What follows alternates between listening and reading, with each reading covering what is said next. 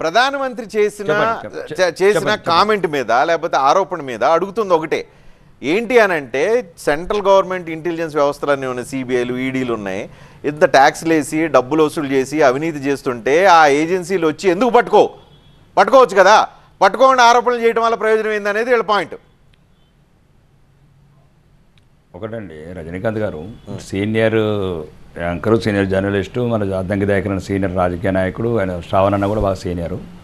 First please దయచేసి నాకు one minute extra వాళ్ళు చాలాసేపు మాట్లాడారు ఒక నిమిషం టైం ఎక్కువ వాళ్ళకన్నా. ఫస్ట్ శ్రావణ్ అన్న ఏమన్నాడంటే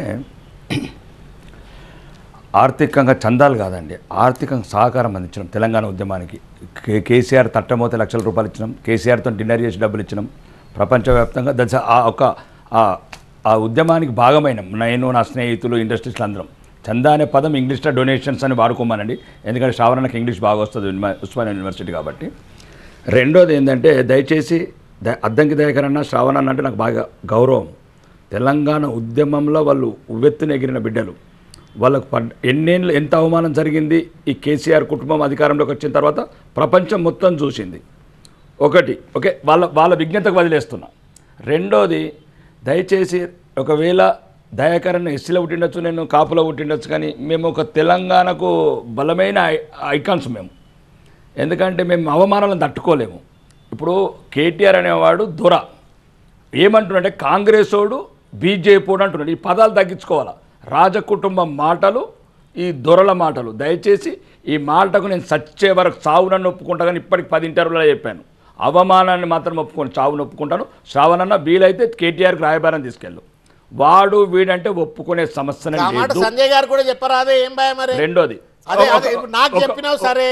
బండి సంజయ్ కూడా చెప్పొచ్చు కదనే రాకేష్ అన్న బండి సంజయ్ గారు కూడా చెప్పొచ్చు కదా మా- బండి గారు కూడా చెప్పురి. దయచేసి నేను రాకేష్ నేను ఇగో మొత్తం దయచేసి నేను చెప్తున్నాను కేటీఆర్ ఎప్పుడంటే అప్పుడు తిరగబడతా.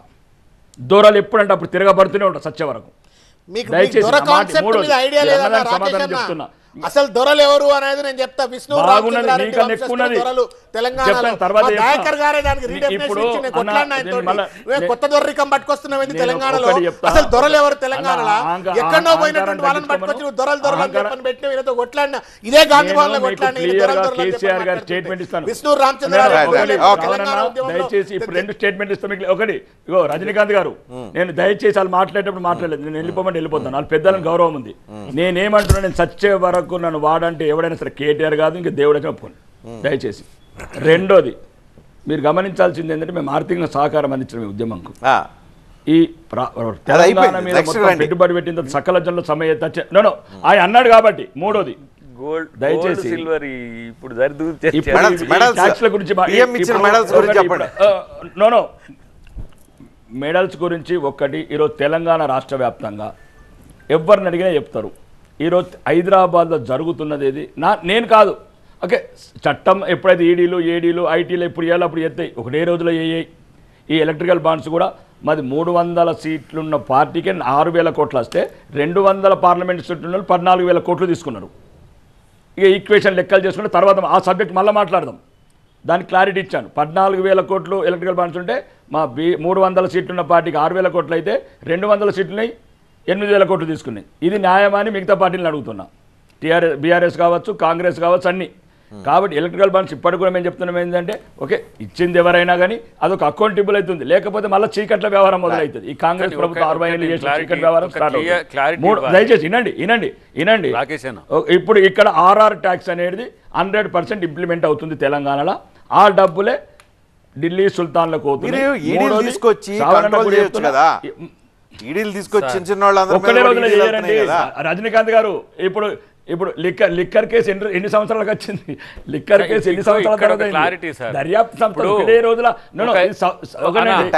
మాట్లాడనీయండి నన్ను మాట్లాడనీయండి నేను మాట్లాడనీయండి, మళ్ళా అన్న నేను అన్నాక స్పందించాల్సింది.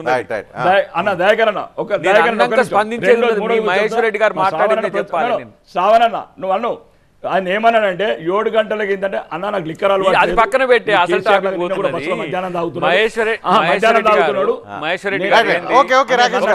మీరు దయచేసి. ఇరవై నాలుగు గంటలు ఇట్లనే ఉంటాను. కాదు మహేశ్వర ఆర్ఆర్ ట్యాక్స్ హైదరాబాద్లో ఎవరిని అడిగిన చెప్తారు ఆర్ఆర్ ట్యాక్స్ మహేశ్వర రెడ్డి గారు R tax RR tax triple R tax కాడికి వచ్చింది ఇప్పుడు ఆయన. తర్వాత ఫోర్ ఫోర్ ఆర్ పోతాడు ఫైవ్ ఆర్ కాడికి పోతాడు. కానీ ఇప్పుడు హెటిరోనే ఉన్నది.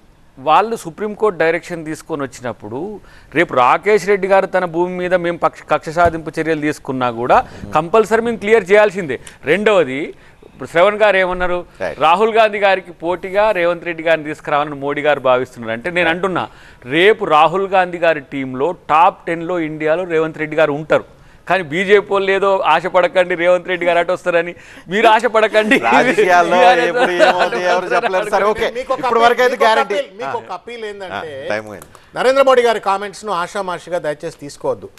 తెలంగాణలో ఆర్ఆర్ ట్యాక్స్ నిజంగానే వసూలు కాబోతుందా జరుగుతున్నాయా లేవా? దయచేసి మీరు ఇంకా డీపన్గా ఎంక్వైరీ చేయాల్సిన అవసరం ఉంది. ఇవాళ పెద్ద ఎత్తున ఒక ఒక ఒక దోపిడీ వ్యవస్థ నిర్మాణం జరుగుతూ ఉంది ఫోన్లు లోపలికి వస్తే ఫోన్లు మొత్తం బయట డిపాజిట్లు కావాలి ఎవడు ఏం మాట్లాడుకుంటూ తెలియకుండా పెట్టుబడిదారులను పిలిచి. బయట చర్చలు జరుగుతున్నాయి కాబట్టి వీటిని దయచేసి. వీటిని దయచేసి మీరు ఇంకోటి. చోటే బాయ్ బడే బాయ్ ఈ రాజకీయ పరిణామాలు ఆయన పొగడటం ఆయన పొగడుకోవడం ఒక- అంశం చెప్పాలి ఇక్కడ. వాళ్ళ ప్రభుత్వ ATM to Delhi Revanth Reddy tax ఏంటి? తెలంగాణ సంపద అంతా ఎక్కడ పోతుంది ఎవరు దోస్తున్నారు ట్యాక్స్- దయచేసి లోతుగా కనుక్కోవాలని సార్ ఈ కోరుకుంటున్నాను. ట్యాక్స్ల విషయము పది సంవత్సరాలు ఉన్న వాళ్ళకు పది సంవత్సరాలు ఉన్న వీళ్ళకి తెలుసు వీళ్ళ అనుయాయులే వచ్చి రేవంత్ రెడ్డి గారి చుట్టూ తిరుగుతున్నా తెలంగాణ కూడా రాష్ట్ర అకార్డింగ్ ప్రజల రక్తం ఎప్పుడు రూల్ ఆఫ్. లా మాత్రమే ఏ పనైనా. జరుగుతుంది. ట్యాక్స్లు అనేది పెట్టి మీరు ఫేక్ కాకండి ఎందుకంటే ప్రధానమంత్రి స్థాయి వ్యక్తి మీ స్థాయిని తగ్గించుకోకండి మీరు ఎవరైనా సరే నేను బీఆర్ఎస్ మీరు సెర్చ్ కమిటీ వేసుకోండి. మీకు తెలుసు ఎక్కడ ల్యాండ్స్ ఉన్నాయో ఎక్కడ ప్రాఫిట్స్ ఉన్నాయో ఎక్కడ ఉన్నాయో మీకు మీకు తెలిసినట్టుగా మాకు తెలియదు. మీరు ఎక్కడ ఏది జరుగుతుందో మీరు మాకు చెప్పండి. మేము దాన్ని సరిచేసే ప్రయత్నం చేస్తాం కానీ. ట్యాక్స్ అనే రజనీకాంత్ పేరుతో